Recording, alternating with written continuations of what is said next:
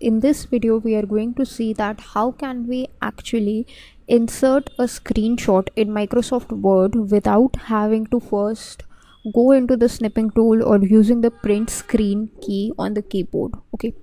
So basically if you directly want to create a screenshot and insert into microsoft word or any microsoft office document then what you need to do is uh, firstly you need to go to this insert tab. In the insert tab there is this illustrations group if you take a look at this illustrations group here is this screenshot option that you would get. That means you can just get a screenshot of the window that's opened.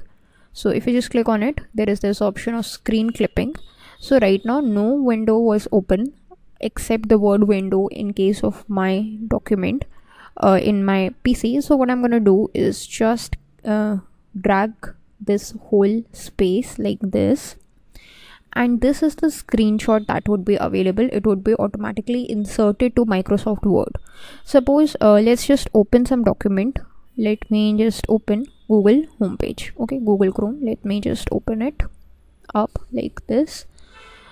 Okay now if i just go to word again go to insert screenshot. So you can see it would show me available windows option. Like google chrome is available if i have multiple windows open like let me just open this notepad as well then what would happen is i have two available windows so which screenshot i want to take i want to take google's screenshot so that whole screenshot would be taken and it would be applied over here i don't even have to drag and drop so that's how the screenshots are taken in Microsoft Word. That's all for this video. Thanks for watching.